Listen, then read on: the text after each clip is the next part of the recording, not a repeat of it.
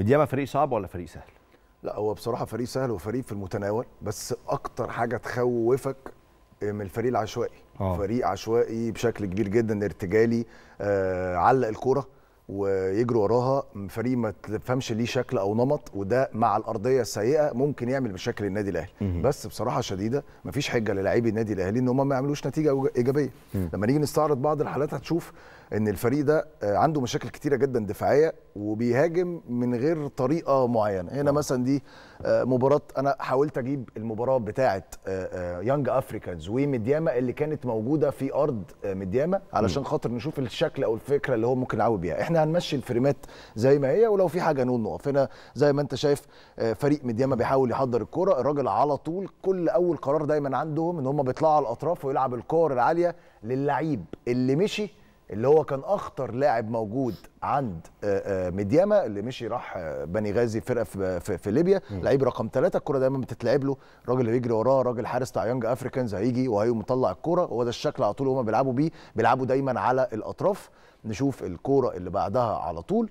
هتلاقي إن هنا بقى عاوز أوريك حاجة. بص الوقفة بتاعه مدياما في منطقة الجزاء. الراجل رقم اتنين كسر ال offside والدنيا أحلى حاجة في الدنيا. يعني كل واحد هنا واقف بطريقة عشوائية بشكل كبير وده اللي المفروض يلعب عليه النادي الأهلي. الفرقة دي عندها مشاكل كبيرة جدا في التمركزات. نكمل ال frameات وإحنا بنتكلم. ده الهدف اللي جابه آه، يانج افريكانز كرة اتلعبت بوسط عدد كبير جدا من لاعبي لا ده مش هدف ده عدد آه. كبير جدا من آه، لاعبي مدياما جوه ال 18 وفي نفس الوقت برغم وجود ثلاث لعيبة بس من يانج افريكانز قدروا إن هم ياخدوا الكره نكمل الحالات وإحنا بنتكلم مفيش مشاكل. دي كانت هجمة برده موجودة على نادي مدياما نفس الكلام هنا عاوز أوريك بقى بص بص الوقفة بتاعة لاعبي مدياما بتشوف الراجل رقم 14 هو أكبر ثغرة أنا بشوفها موجودة في نادي مدياما لأن الراجل ده على طول أول ما هم بيجي يحضروا الكرة من تحت بيطير الباكين. فلو الكرة اتقطعت منهم في وسط الملعب في مساحات كبيرة. نكمل الحالات وإحنا بنتكلم.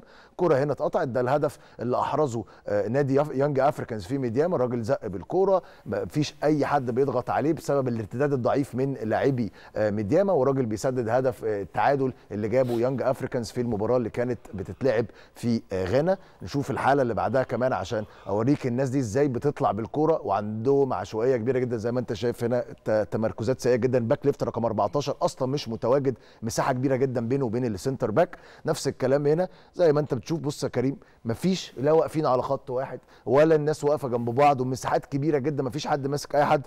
بتلاقيه نكمل حالة وإحنا بنتكلم. اللي هتلعب للراجل بتاع يانج افريكانز المميز جدا واللي هنتكلم عفوا على اللاعب ال half left بتاع آه، نكمل الحالة. الراجل هيجي يرقص وكانت كرة خطرة جدا ليانج أفريكانز. فإحنا بنتكلم هنا إن النادي الأهلي أول ما يقطع الكرة لازم يطلع على طول على الأطراف. معانا حالة كمان عاوز أوريها لك على الكور اللي بتتلعب دايما وهم الشكل بتاعهم عامل إزاي زي ما أنت شايف هنا. الراجل بيحاول يحضر الكرة من تحت. أول ما هيباصي الكرة ل بص دول الاثنين center back. اما تيجي تبص على ال frame اللي بعده مش هتلاقي أي حد من الباكات موجودين على طول بيطيروا. فهنا الخطورة اللي هتبقى موجودة دايما على النادي مدياما. النادي الأهلي أول ما يقطع الكره يلعب على طول كورة عالية. الراجل أول ما لعب الكره السكند بول نزلت بعشوائية كبيرة جدا مفيش شكل ولا أي حاجة. الكره أول ما تنزل الكره الثانية الراجل هيلعبها للعيب رقم 10 اللي لازم النادي الأهلي ياخد باله منه لأن الراجل ده مميز جدا في الواحد على واحد. فلازم النادي الأهلي خطوطه كلها تبقى متقاربة من بعض. النادي الأهلي هيبقى عنده مشكلة في الانسيابيه وفي إن الكره دايما تبقى موجودة على الأرض. فده اللي لازم النادي الأهلي ياخد باله منه. طيب.